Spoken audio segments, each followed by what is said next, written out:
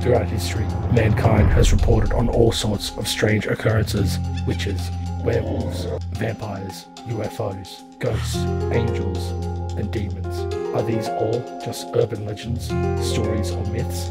Or is there some form of truth that lurks in the shadows? Together, we endeavour to explore and investigate these strange occurrences which have taken place throughout mankind's history. Together, we are ETFW. Welcome to the library. Portland is known as one of America's most livable cities, but just 150 years ago, it was infamously known as one of the most dangerous.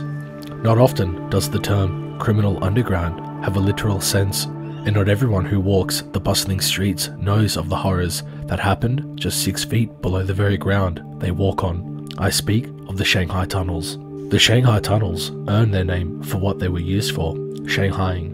Shanghaiing also known as crimping, is the practice of kidnapping people to serve as sailors or other roles about ships by coercive techniques such as trickery, intimidation, and even violence. Those engaged in this form of kidnapping were often known as crimps. At one time, Portland was a simple port town located on the Willamette River and would have many vessels arriving and departing on a daily basis. A lot of these vessels, when arriving, would be in need of additional crew aboard their ships, and the captains would pay handsomely for anyone they could get.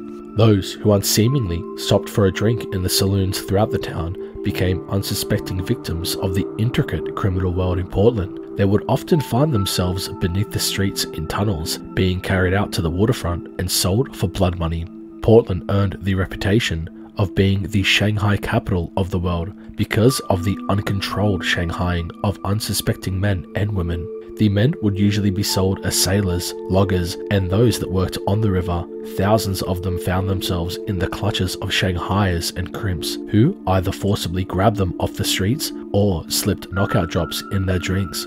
They were hauled out of opium dens, and houses of prostitution, or dropped through trapdoors that were conveniently located in the majority of establishments. Women in the early Portland's history also needed to be cautious when venturing into certain areas of the city. They were warned not to go to dances and to stay out of restaurants, saloons, and other establishments of the evening. They also became victims of this shadowy part of the city's history and found themselves being carried or dragged through this infamous network of underground tunnels and, unfortunately, sold into slavery. The victims were often held captive in small brick cells or makeshift wood and tin holdings until they were sold to sea captains. A sea captain who needed additional men to fill his crew notified the Shanghaiers that he was ready to set sail in the early morning hours and would purchase the men for 50 to $55 a head. Knockout drops were then slipped into the confined victim's food or water. Unconscious, they were then taken through a network of tunnels that snaked their way under the city all the way to the waterfront. They were placed aboard ships and didn't wake until many hours later,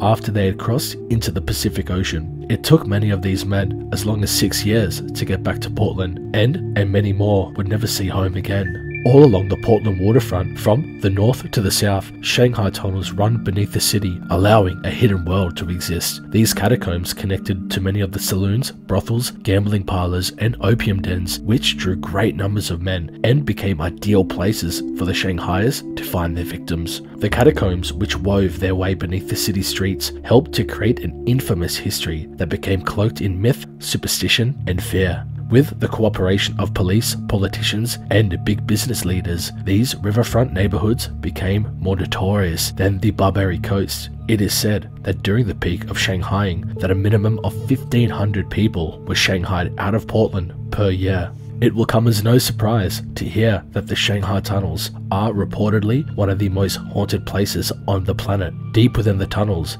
People have reported feeling chills as if someone is breathing down their neck. Many people have also reported seeing an Asian man walking past them in the tunnels. He is known as Sam, and apparently he is responsible for turning off the lights in bar basements. Sam also likes to move things around the tunnels as explorers walk by. One tour guide reported hearing a voice calling out the name Sam over and over again echoing throughout the tunnels. There are other reports seeing quick movements of shadows and feeling ghostly fingers on their shoulders when no one else is around.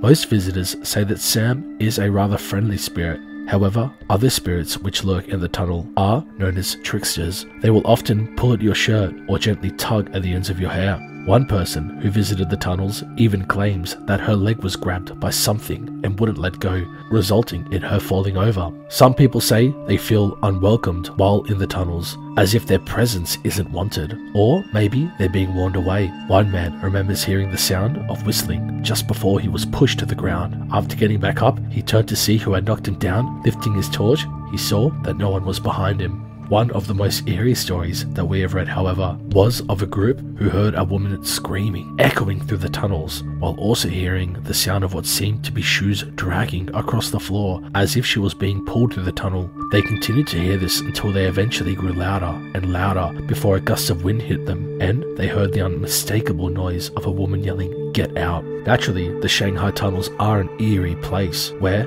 if you're not too careful, you may get yourself lost in the underground maze. What do you believe of the Shanghai tunnels? Would you be brave enough to visit? If you enjoyed this episode, please feel free to hit the like button. Subscribe if you are new here and comment your thoughts down below. Until next time, we are ETFW.